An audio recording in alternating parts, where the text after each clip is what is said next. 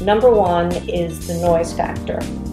Uh, it makes a huge difference inside the house. You don't hear the gardener, you don't hear a lot of people talking. It is much, much quieter. And actually, it's almost shocking the first time you come into the house with, with every window being done, how quiet it is in the house. Um, the second issue was a feeling of security.